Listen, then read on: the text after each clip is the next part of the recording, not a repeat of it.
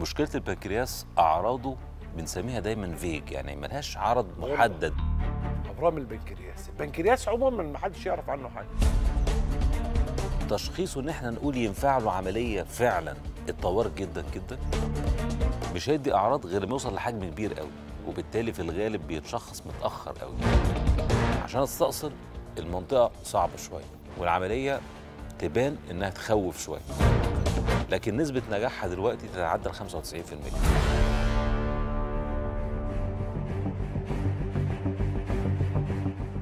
الدكتور محمد فتحي عبد الغفار أستاذ جراحة وزراعة الكبد كلية طب جامعة عين شمس استشاري جراحات الكبد والقنوات المرارية والبنكرياس. عميد المعهد القومي للكبد سابقاً زميل جامعة اسن بألمانيا لجراحات الكبد والبنكرياس والقنوات المرارية.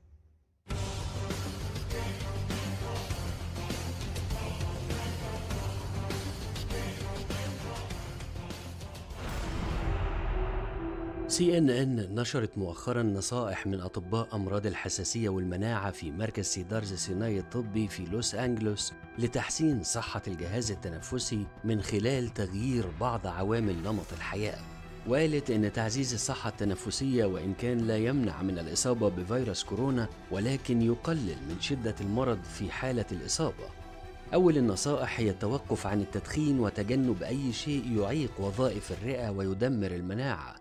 ثانياً الحد من تراكم المخاط الزائد، وأوصت بتجربة رذاذ أنفي ملحي في حالة الحساسية، ويمكن للأشخاص المصابين بالربو استخدام أجهزة الاستنشاق الخاصة بهم لتقليل الالتهاب مما يقلل المخاط. ثالثاً تقليل التعرض لمسببات الحساسية قدر الإمكان. رابعاً ممارسة الرياضة لأن التمارين الرياضية تقلل من الالتهاب في الجسم ويمكن أن تقلل من حدوث متلازمة الذائقة التنفسية الحادة وهي مضاعفات خطيرة لدى بعض مرضى فيروس كورونا.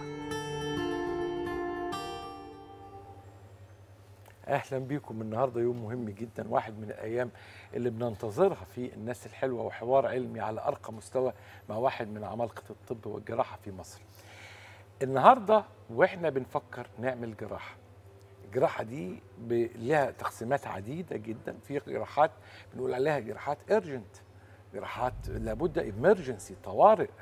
في جراحات مش امرجنسي بس تأخيرها وتأجيلها قد يؤدي إلى مشاكل ومضاعفات غير مرغوب فيها. في جراحات يمكن أن تؤجل يمكن أن تؤجل كتيرة زي مثلا على سبيل المثال لكن في كتير قوي قوي زي جراحات تجميلية مثلا. واحد عنده مثلا آه، مشكلة ما في آه، الأنف وعايز يحسنها يجملها. ممكن ينتظر شوية. واحد عايزه تعمل عملية شفط دهون ممكن تنتظر شوية. لكن في عمليات تانية زي ما إحنا قلنا مصنفات بشكل آخر. صحيح إن في المجال التعليمي بدأوا يوجدوا حلول. يوجدوا حلول يعني مثلا في طوكيو في اليابان عملوا حاجة لطيفة جدا. للتعليم للتعليم.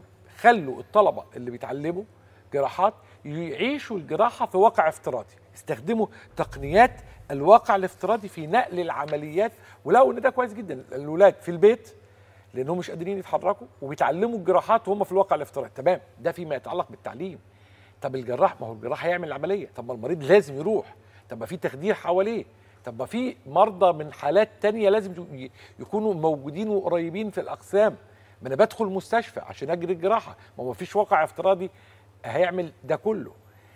بس مين اللي يعمل وإزاي يتعمل و إلى آخره؟ وخصوصا وسؤالي وقاعدة أو عنوان مهم إنه في الفترة ال- ال- اللي كانت الكورونا عاملة شوية رعب كبار شوية رعب كبير عند عندنا هنا. في ناس كان عندها اعتقاد إنه مفيش حد بقى لا هيروح ولا هيجي ولا ينزل حتى لو الحالة امرجنسي وفي مرضى حالتهم كانت صعبة وخايفين يروحوا المستشفيات. فده ده سؤال أو دي منطقة مهمة جدا. صحيح الأمور دلوقتي بدأت تبقى أهدى نسبيا لكن برضو ما زال السؤال يطرح نفسه. وهو مش بس سؤال واحد أسئلة كتيرة. الجراحة في زمن الكورونا. ضيف العزيز القيمة العلمية الكبيرة والجراح القدير مصريا وعربيا وطبعا اسم عالمي نفخر بوجوده معنا وبسعد جدا بالحوار معه. ضيفي واستاذنا الأستاذ الدكتور محمد عبد الغفار. الاستاذ الدكتور محمد فتحي عبد الغفار هو أستاذ جراحة آه، وزراعة الكبد بكلية طب جامعة عين شمس وزميل جامعة أيسن بألمانيا لجراحات الكبد والقنوات المرارية والبنكرياس وعميد معهد الكبد السابق. أهلا بيك يا بحضرتك. وحشني جدا جدا. وعنوان يعني أنا قسمت الكلام بس عنواننا الجراحة في زمن الكورونا صح كده؟ آه آه، ده دي ذكريات يعني مش ذكريات التجربة إزاي مر عليك زمن الكورونا في الفترة اللي فاتت؟ بص حضرتك هو كورونا من الحاجات اللي في الطب الغريبة جدا مم. بالنسبة لنا جيلنا كلنا يعني لأن إحنا بنتعامل مع مرض جديد فإحنا مش فاهمين حاجة معظم الدكاترة في العالم كله تعامل بطريقة إن أنت ما أنتش عارف إيه اللي هيحصل فكان أول رد فعل لينا إيه؟ اقفل كل حاجة. آه. عندنا وعند بره وفي حين عندهم حق. آه. يعني إحنا وقفنا العمليات في فترة كان ممكن ما نوقفش فيها. دلوقتي إحنا نقول ما كناش المفروض نوقف ساعتها. بس اللي إحنا عملناه صح لأن ما عنديش معلومة إيه اللي هيحصل. ابتدت الرؤية تتضح شوية دلوقتي. مش مجرد بس إن الحالات ابتدت تقل أو ابتدى يبقى فيه يعني مفهوم شوية المرض أتعامل معاه إزاي. لا ابتدوا يعملوا تقسيمة والحقيقة التقسيمة دي جميلة قوي لأنها مش تنطبق على الكورونا. هي تنطبق على أي مصيبة كبيرة قد تصيب العالم كله. يعني تبقى كورونا تبقى مرض آخر تبقى أي حاجة. اللي هي قصة أنا عندي مريض عايز يعمل عملية. لازم نبص الموضوع من شقين. الشق الأولاني هو إحنا بنقول الكورونا العمليات في زمن الكورونا. يبقى أنا عندي زمن اللي هو التوقيت اللي إحنا فيه دلوقتي والمرض. عملوا تقسيمة بره إن هم حط حطوا مراحل الوباء ثلاث مراحل أو أربعة. stage zero ده اللي هو ما عنديش حالات خالص في المستشفى. stage آه واحد أنا عندي حالات في المستشفى ولكن الإمكانيات بتاع ثلاث حاجات. الطاقم الطبي بتاعي إمكانيات الوقاية بتاعتنا وسراير الرعاية. لم تتأثر بالحالات دي كعدد. طبعا إحنا لازم ناخد بالنا إن في اختلاف كبير في المنظومة عندنا من بره. آه إحنا عاملين حاجة هم مش عاملينها وأنا شايف إن دي كويسة جدا وهم نفسهم يعملوها. حتة مستشفيات العزل لما كان الناس بتعترض وتقول لك لا بره ما بيعملوش كده هو بره ما عندوش مستشفى للعزل. هي المستشفى شغالة كل حاجة فيها عيان كورونا فاصلينه في مكان معين وبقية المستشفى شغالة عادي. لكن ما بيقدرش يقلب مستشفى بالكامل تبقى عزل فقط. إحنا هنا عندنا عملنا إحنا عاملين القصة. عاملين لنا مستشفيات عزل متكاملة. بالظبط. دي كاملة. حاجة كويسة جدا لأن عشان تشتغل اللي هم عاملينه بره ده صعب قوي. يعني محتاج سيستم قوي جدا جدا جدا. إمكانياتنا في مصر أحسن حاجة ليها اللي إحنا عاملينه ده فعلا. إن يبقى دول منفصلين عن بعض. فهو بره ما بيقول المرحلة واحد اللي هو عنده حالات قليلة في المستشفى دي مش عندنا قوي. لأن أنا عندي مستشفى ما فيهاش أصلا حتى أثناء الكورونا. لكن بصفة عامة يعني المقصود بيها إن كمية الحالات قليلة بالنسبة لكفاءات المستشفى أو أماكن المستشفى. دي stage بيسموها 1 stage 2 عنده حالات برضه بس زادت بقى ابتدت تأثر على الثلاث حاجات دول اللي هو عدد سراير الرعاية عدد الاطقم الطبية وسائل الوقاية بتاعتي. ستيج 3 للثالثه بقى هنا انهارت المنظومة الطبية. اللي هو سراير الرعاية كلها متاخدة للكورونا. الأطقم فيهم إصابات كتيرة قوي. ما عنديش ماسكات ما عنديش حاجة تكفي هذا الكلام. فده جزء الوباء نفسه. الجزء الثاني العمليات. زي ما حضرتك قلت كده. ما ينفعش أساوي عملية تجميل بعملية ورم. لا ده ما عملوش بقى كده بس. ده ابتدوا يقسموا كمان حتى الأمراض. هو طبعا هيقسمها من الأول حاجات طارئة وحاجات elective عادية خالص. الحاجات الطارئة دي كمان مش كلهم زي بعض. في أورام وفي حوادث وفي حاجات زي كده. طب الأورام مش كل الأورام زي بعض. ابتدينا نحط لكل حتة ليها criteria بتاعتها. يعني تخش مثلا على بالنسبة لنا إحنا كده في شغلنا أورام البنكرياس والكبد. ده ليه تقسيمة لوحده غير أورام المعدة. وجابوا التقسيمة دي منين؟ ده هو ابتدى يشوف كل ورم من دول لو أنت أخرته شهرين العيان ده على المدى الطويل خسر قد إيه؟ في أورام لقوا إنه ما بيخسرش كتير فيقول لك أجله. وفي أورام هيخسر قوي اليوم بيفرق معاه يقول لك لا ده اشتغلوا وبالتالي الموضوع ما عادش اجتهاد. إحنا يعني في مصر عندنا للأسف جزء من مشكلة الطب إن إحنا بناخد بالعقل. آه، هو بره بيعمل زينا بالعقل برضه بس لازم يبقى مبني على تجربة. ممكن يبقى إحنا اتنين عملنا زي بعض بس الفرق بيننا وبينهم إن أنا بعمل أنا شايف إن ده منطقي أعمل كذا هو شايف ان منطقي آه بس لازم الأول يعمل له تجربة عنده. فهم عملوا بقى تقسيمة كمان للمرضى. كل مرض يعني دي لازم الدكاترة بقى كمان يخشوا على المواقع ديت إن يشوف مثلا ورم الكبد. لو عندي عيان عنده ورم كبد أولي عمليه ولا ما يعملش. محطوط. كل ورم يتعمل دلوقتي وفي أنهي مرحلة في دول. لو أنت في المرحلة الأولانية زيرو طبعا ده ما عندوش حاجة خلاص يشتغل على طول. المرحلة الثالثه اللي هو كله باظ كده كده مش هيشتغل حاجة غير ال- العيان اللي بيموت بس. الكلام كله في المرحلة الأولى والمرحلة الثانية هو ده اللي أنت هتبتدي توزن بقى الأمور المرض والمرض ده هينتشر إزاي أو هيصيب المريض إزاي مقابل المستشفى بتاعتك اخبارها إيه والسراير بتاعتك اخبارها إيه. في اعتقادي إن إحنا في مصر دلوقتي في المرحلة الأولى اللي هي عندي شوية حالات لكن مش مأثرة على سراير الرعاية مش مأثرة على الطاقم الطبي مش مأثرة على وسائل الحماية. وبالتالي عندي فرصة فعلا إن أنا أتعامل مع نسبة كبيرة قوي من الحالات اللي لو سبتها ممكن يحصل مشكلة. دي دي ده ده التقسيمه الأولى. آه. أو التقسيمه بالنظرة ال- ال- الكلاسيكية. global كده. global. طب لو قربنا أكتر برضو إيه إيه مين الجراحات اللي ممكن نصنف عنها لازم تتعمل.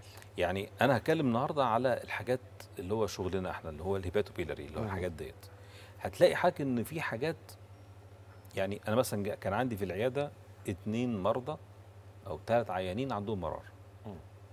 اتنين قلت له ما تعملوش عملية وواحد قلت له تعمل عملية والثلاثه مرار. بس ليه؟ في واحد فيهم هو جاي عنده نتوءات في المراره النتوءات دي ممكن تقلب بورم ما هتاخد وقت. ما تقلب بورم يبقى مش وقتها دلوقتي. يبقى استنى شوية دي هنعملها في وقت بس. هتابعك. وهنتابع. ولما. الدنيا تهدى آه. هنعملها. كمان شهر شهرين. ثلاثة آه. واحدة تانية عندها حصوات بس ما عندهاش أعراض دلوقتي. والحصوات حجمها كبير مش هينزل في القناة المرارية. برضو قلت لها ما تعمليش دلوقتي. واحدة تانية كان عندها التهاب لسه قريب. التهاب حد في المرار وعدت منه. دي لازم تعملي دلوقتي. طب الكورونا آه ما للأسف إحنا زمايلنا الدكاترة اللي بيشتغلوا في الطوارئ بيشوفوا دلوقتي كميات حالات مرضى ما كانوش بيشوفوها زمان. حالات متأخرة بطريقة اللي عنده زايدة زايدة منفجرة بقى أربع أيام عشان هو خايف يروح المستشفى لا يجيله كورونا. مم. آه، يبقى عنده ورم سرطاني وسايبه أصله خايف يكشف لحسن ي- يموت من كورونا. ما أنت هتموت من حاجات تانية. عشان كده بره في حالات اتدهورت في الفترة كتير الأخيرة جداً. بسبب الكورونا. بالظبط يعني, يعني للأسف ده بسبب برضو الفيسبوك وال social media. للأسف عملوا هلع كبير جدا عند الناس. آه يعني أنت قول لي كام واحد تعرفه دخل المستشفى يعمل عملية وجات له كورونا من المستشفى. مفيش. وكام واحد بقى جات له كورونا من غير ما يروح المستشفى؟ آه كتير. طب إحنا ليه بنعمل بقى كده؟ هي دي المشكلة إن أنت هنا بتعرض حياتك أو تعرض نسب شفائك للخطر من حاجة حقيقه دلوقتي ما عادتش موجودة.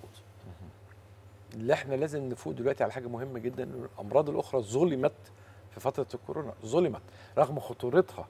يعني ما هو آه، ال- ال- ال- التهابات المرارة وحصاوي المرارة في منتهى الخطورة. وما حتى جم قال لك لو أنت في المرحلة مثلا الثانية اللي هي السرير عندك قلت شوية طب واحد عنده ورم في البنكرياس يعمل إيه؟ قال لك ده بالذات ورم بنكرياس هياخد كيماوي. لأن عملوا دراسات على القصة لقوا إن في عيانين بيستفيدوا من الكيماوي قبل العملية وإن لو خد الكيماوي مش هتعطل العملية بعد كده. فقال لك يبقى العيان ده الأفضل ليه ما يعملش دلوقتي عملية ياخد الكيماوي. عيان عنده ثانويات في الكبد على حسب مكان الورم وحجمه. ممكن برضو أديله كيماوي وأجل العملية شوية وممكن ألاقي إن حجمه في منطقة خطر لو سبته مش هينفع عملية بعد كده. يبقى لازم ساعتها عملية. يعني الرسالة إن ما ينفعش المريض ياخد القرار من نفسه. لازم الدكتور هو اللي ياخد له القرار بناء عن معطيات كتير قوي هو شايفها قصاده يعني فعلا في الوقت دوت بانت يعني إيه الدكتور بيسموه الحكيم. هو حكيم ليه؟ لأنه مش مش محتاج إن هو ينظر لتراك واحد بس مش شايف سكة واحدة بس لا ده شايف العيان. وشايف ظروف البلد وشايف المستشفى اللي هو شغال فيها وشايف المرض بتاعه ده بالذات وشايف العيان ده بالذات طب أنت هعمل لك عملية وبعد العملية آه، كم واحد هيزورك. هتعرف تقعد في البيت وما حدش يخش عليك ممكن أغير قراري بناء على المعطيات اللي حوالين المريض نفسه. هروح لغرفة العمليات اللي هي مسرح الأحداث بالنسبة لأي جراحة. كيف يتعامل مع غرفة العمليات في زمن الكورونا هنقسمه حاجتين. أول حاجة لو أنت عندك مريض كورونا هتعمل له عملية. وده وارد. واحد عنده كورونا وجات له زايدة أي حاجة يعني هنتعامل معاها لازم. وده حقيقه مش كتير قوي لكن هنتكلم الأول على ال- العيا المستشفى العادية دلوقتي. الفكرة كلها إن أنا عايز أعمل حاجتين. عايز هتعامل مع المريض ده إن هو عنده مشكلة أو قد يكون عنده مشكلة. فمش عايز انقل المشكلة دي لحد تاني. وفي نفس الوقت عايز أحميه. معظم المستشفيات دلوقتي بقت قبل ما يخش أصلا أوضة العمليات يعني قبل ما يتحجز في المستشفى لازم أتأكد إن هو ما عندوش. وأتأكد بإيه؟ أحسن حاجة طبعا ال PCR آه، اتعملت دراسات على القصة دي يعني لقوا إن مثلا 6% من العيانين اللي راحوا المستشفى يعملوا عمليات لقوا إن ال PCR بتاعهم positive قبل العملية. الأشعة المقطعية لو ما فيش الأشعة المقطعيه بس وال PCR سلبي 4 من 10% وبالتالي لوحدها مش مهم.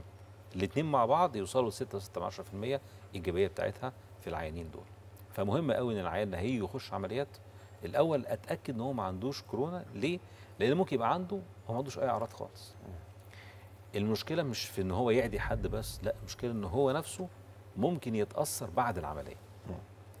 آه، الحقيقة من يعني يمكن من أسبوعين كده اتنشرت آه، بحث معمول على 34 عيان آه، عملوا عمليات وهم بي سي ار بوزيتيف وما كانش عندهم أعراض ال PCR positive يعني معناها دلالات دمويه تدل على إن إنه كورونا عنده كورونا. كورونا آه وما عندوش أعراض وعملهم 34 مريض مم.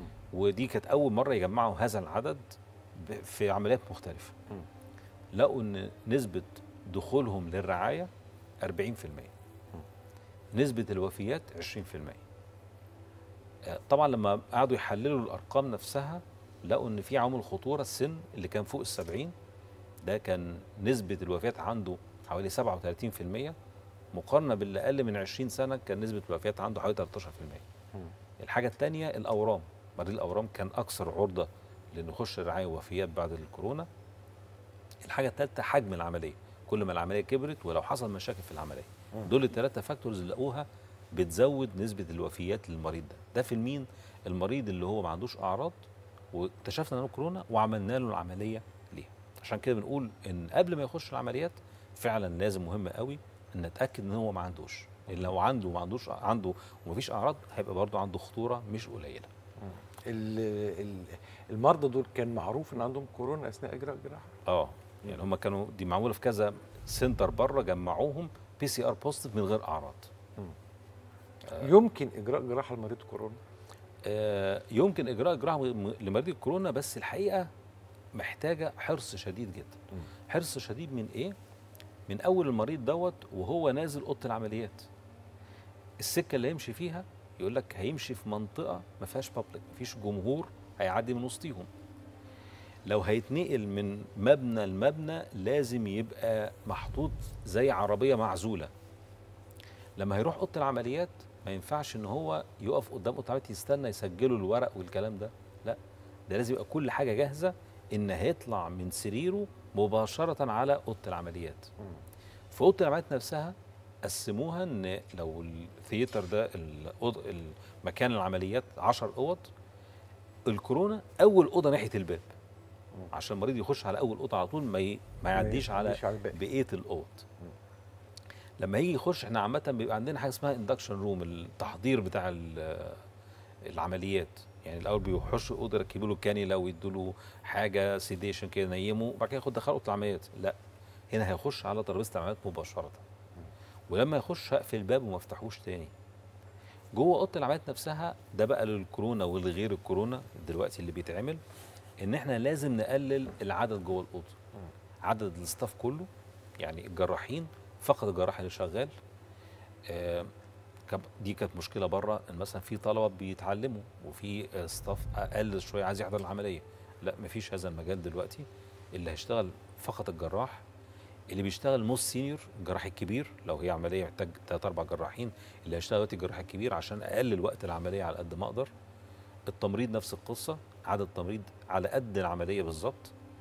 العامل اللي جوه الأوضة ما يطلعش بره الأوضة ويخش هو جوه الأوضة لغاية ما العملية تخلص وبعد كده يخرج. التمريض نفسه بيبقى مجهز الأدوات اللي هيستخدمها في العملية كلها قبل العملية ما يروحش المخزن ويجيب كل شوية حاجة ويطلع. الأجهزة اللي جوه أوضة العمليات ما أحطش غير الأجهزة فقط اللي أنا محتاجها. آه لازم تعقيم بين كل عيان تعقيم كامل لأوضة العمليات والأجواء بتاع أوضة العمليات كلها. دي الحاجات اللي بنعملها جوه أوضة العمليات نفسها. شوف طريقة لبس الماسك لازم تكون بطريقة معينة بتأكد من الماسك يعني خلاص. الحقيقة الفيديو ده مهم قوي للدكاترة. مم. لأن إحنا للأسف في مصر نسبة وفيات الدكاترة عندنا عالية جدا. اعتقادي إن جزء من المشكلة إن إحنا ما عندناش الحرص قوي. يعني ما هنشوف الفيديو ده ده شخص مش بيعمل عملية. ده شخص هيتعامل هيكشف على مريض عنده كورونا. هنشوف كمية الحاجات اللي هو بيعملها وبيلبسها عشان يتكلم بس مع العيان. دوت عشان يحمي نفسه. أعتقد إن جزء من المشكلة بتاعتنا إن إحنا ما عندناش التزام شديد بالخطوات دي كلها. وبرضو هل الاستعدادات الاكويبمنت دي كلها موجودة ده سؤال مهم برضو أم، آه طبعا. مش في كل الأماكن هيلاقيها ومش عايز أقول لحضرتك إن في كتير من الدكاترة معظمهم الحاجات دي بيشتروا على حسابهم. ما هو طبعا يعني و- ومعلش لازم نعمل كده ما فيهاش كلام. حتى لو في نقص لازم نجيبها على حسابنا. ما فيش مشكلة. أنا ما أنا مش مش هقدر أقول في الوقت الحالي غير إن إحنا لازم نعمل كده. أيوه. ما فيش مبرر لغير كده. يعني دي أهم حاجة. لو لو آخر فلوس معاك في جيبك لازم تجيب الحاجات دي. بالظبط. ب- هنا في نقاط شوف بص خلعه ال ال- الجوانتي، الجوانتي. ليها ليها طريقة. بالظبط إن هو آه، لازم يتعامل إن الجوانتي ده كله مليان فيروس. آه. إزاي؟ مش هيلمس الحتة اللي بره خالص هو دخل صباعه جوه الجوانتي وما لمس الحتة اللي بره. وساب الجوانتي التاني جواه. وجواه ورمى ده كله. وبعد كده هيعقم إيده برضه. يعني أنا قصدي شوف الدقة في كل خطوة من دول أي خطوة من دول سبتها أنت بتعرض نفسك لخطر. لاحظوا بطء خلع الأشياء البطء.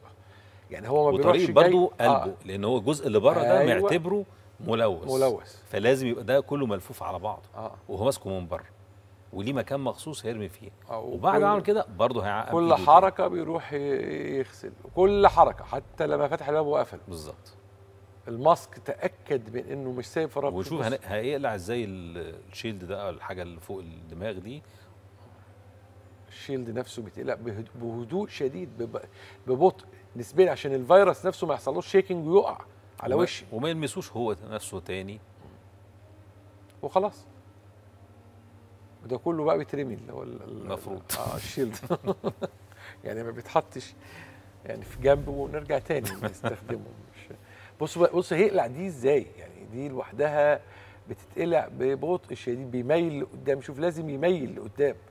دي مهمة التمييلة دي مهمة جدا لأنه ما بيرفعش وشه لفوق ويعمله. ما هو هي- وما الفيروس يلمس الماسك. أهم حاجة الماسك. كل ده عمله آه. من غير ما يلمس الماسك آه نفسه. آه. وجايبين واحد يعني شعره طويل عشان توريك إن هو حافظ على شعره يعني. عملنا العملية قفلنا. إيه اللي هيحصل بعد كده؟ الخطوات اللي بعد كده. لازم العيان يبقى عارف برضو إن آه، الناس اللي هتزوره دي خطر عليه.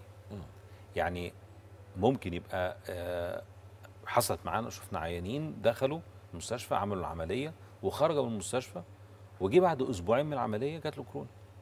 ليه الثقافة المصرية ده مريض؟ طبعا الناس كلها عايزة تروح تزوره تطمن عليه. لا يبقى فاهم إن أنت عندك على الأقل شهر بعد العملية مفيش زيارات. وتتعامل مع كل اللي حواليك إن هم مرضى.